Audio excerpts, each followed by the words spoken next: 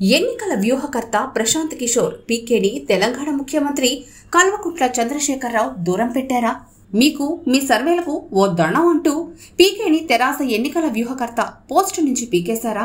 జరుగుతున్న పరిణామాలను చూస్తుంటే అవునని అనిపించక మానదు. పీకే టీం సర్వేలు సేవలు ఇక అవసరం లేదని కేసీఆర్ ఒక నిర్ణయానికి వచ్చేశారని పార్టీ వర్గాలే చెబుతున్నాయి. పీకే బృందం సర్వేలు అవసరం లేదని పీకేకు ఖరాఖండిగా చెప్పేయడంతో ఇక టీఆర్ఎస్తో పీకే బంధం తెగిపోయినట్లేనని అంటున్నారు. ఆఖరికి మునుగోడు ఉప ఎన్నికకు కూడా ఐప్యాక్ సేవలు అవసరం లేదని ముఖ్యమంత్రి చెప్పడంతో తెలంగాణలో పీకే టీంకు పని లేకుండా పోయింది. కారణాలు ఏవైనా ఈ పరిణామం పట్ల తెరాస శ్రేణులు నేతలు ముఖ్యంగా సిట్టింగులు ఆనందం వ్యక్తం చేస్తున్నారు. కేసీఆర్ ఏ నిర్ణయం తీసుకున్నా ఇలా హఠాత్తుగానే తీసుకుంటారని పార్టీ శ్రేణులే అంటున్నారు. ఆయన ఆగ్రహమైన అనుగ్రహమైన ఒకంత తీవ్ర స్థాయిలోనే ఉంటుందని చెప్తుంటారు. పీకేను టీఆర్ఎస్ వ్యూహకర్తగా నియమించిన సమయంలో ఆయనకు ప్రగతి భవన్లోని బస ఏర్పాటు చేసి వీఐపీ ట్రీట్మెంట్ ఇచ్చిన కేసీఆర్ తన జాతీయ రాజకీయ ప్రవేశానికి అవసరమైన సలహాలు సూచనలు తీసుకున్నారని చెప్తారు. అంతేనా? రాష్ట్రంలో టీఆర్ఎస్ ముచ్చటగా మూడోసారి అధికారంలోకి రావాలంటే పీకే వ్యూహాలను తూచా తప్పకుండా అనుసరించాల్సిందేనని పార్టీ ముఖ్యులకే తేల్చి చెప్పేశారు. ఇక వచ్చే అసెంబ్లీ ఎన్నికల్లో పార్టీ టికెట్లు ఇచ్చేది కూడా పీకే టీం సర్వేల ఆధారంగానేనని తేల్చి చెప్పేశారు.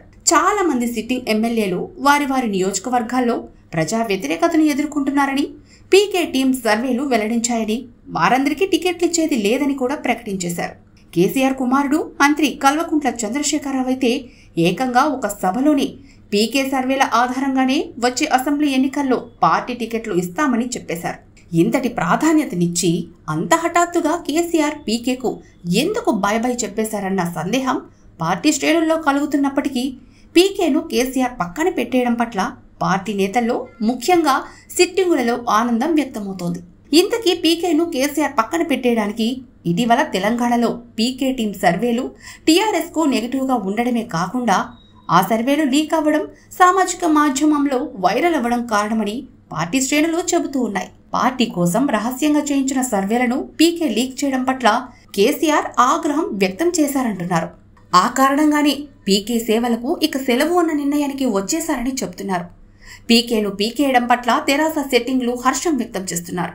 పార్టీ అధినేత కేసీఆర్ అయినా తమకు పార్టీ టికెట్లను నిర్ణయించేది పీకేఏ అన్నంతగా బిల్డప్ ఇవ్వడంతో సిట్టింగులు ఇంతకాలం ఆందోళనలో ఉన్నారు. పీకే సర్వేలేమిటో అవి తేల్చేదేమిటో అని వారిలో వారే మదన పడిపోతున్నారు ఇప్పుడు కేసీఆర్ పీకే సేవలు అవసరం లేదని నిర్ణయించడంతో వారు ఆనందంలో ఉన్నారు. ఇలాంటి మరిన్ని వీడియోలు కావాలనుకుంటున్నారా? అయితే సబ్స్క్రైబ్ చేసి పక్కనే ఉన్న బెల్ సింబల్ను క్లిక్ చేయండి.